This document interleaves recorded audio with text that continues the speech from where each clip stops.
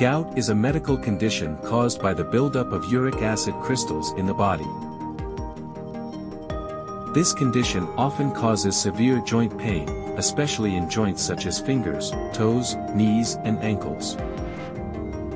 Increased production of uric acid in the body is triggered by a number of factors, one of which is consumption of foods that contain high purines.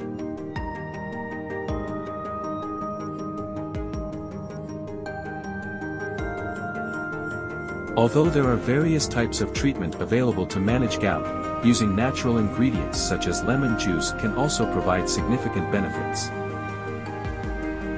Reporting from Healthline, recent research shows that lemon water can also help reduce gout symptoms.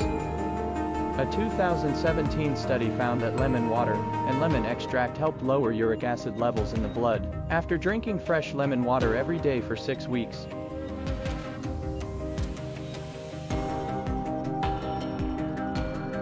Another study published in the British medical journal Lemon Juice makes the body release a lot of calcium carbonate. Just so you know, the calcium mineral will bind uric acid and break it down into other compounds. The effect is that uric acid levels in the blood decrease. To feel its effectiveness, you just need to provide one fresh lemon. You squeeze the lemon until the juice runs out. You can use an orange squeezer to make it easier. You add a glass of water to the lemon juice, stir then drink it all at once. You should drink lemon water regularly, because lemon water can not only reduce high uric acid, but also prevent gout from recurring.